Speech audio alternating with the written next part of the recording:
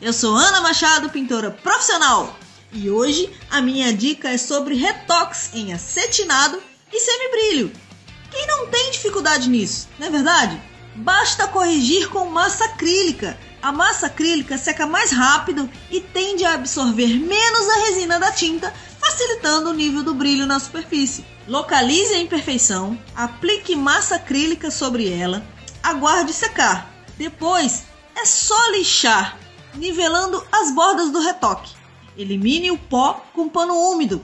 Aplique duas ou três demãos da tinta em cima da massa e uma demão em toda a parede.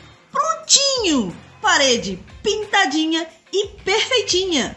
Fica ligadinho aí no Coral Zap. Tchau!